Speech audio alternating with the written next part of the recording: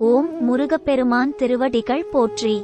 துறையூர் ஸ்ரீ அகத்தியர் சன்மார்க்க சங்கம் சேலம் கிளை சங்கத்தின் சார்பில் இருபத்தொன்பது ஏழு இரண்டாயிரத்து இருபத்து மூன்று சனிக்கிழமை அன்று காலை எட்டு முப்பது மணியளவில் ஞானியர்களை பூஜித்த அருட்பிரசாத உணவான சாதம் சாம்பார் பொரியல் மற்றும் பாயாசம் ஆகியவை குருநாதர் ஆறுமுக அரங்கமகா தேசிக சுவாமிகள் அவர்களின் நல்லாசியுடன் அம்மாப்பேட்டை சத்யா நகர் பகுதியில் நாநூற்று ஐம்பது நபர்களுக்கு சிறப்பான முறையில் அன்னதானம் வழங்கப்பட்டது.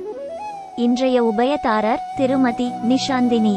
இன்றைய அன்னதானத்திற்கு பொருளுதவி செய்தவர்களும் தொண்டு செய்தவர்களும் மேலும் உண்டு மகிழ்ந்த அன்பர்கள் அனைவரும் வாழ்வில் எல்லா வளமும் நலமும் பெற்று இன்புற்று வாழ வேண்டும் என்று ஓங்கார குடிலாசானின் திருவடியை பணிந்து பூஜித்து வேண்டிக் கொள்கிறோம்.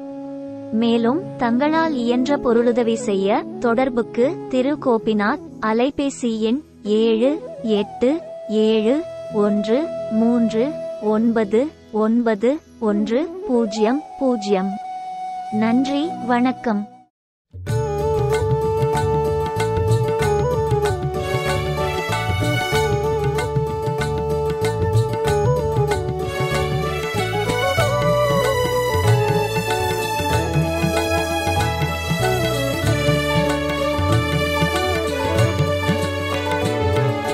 கலசமுனியின் கருணை வடிவே அரங்கா.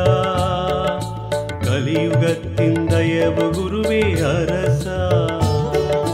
கலசமுனியின் கருணை வடிவே அரங்கா. கலியுகத்தின் தயவு குருவே அரசா. கலசமுனியின் குலம் படைத்த அரங்கா. கலியுகத்தை காக்க வந்த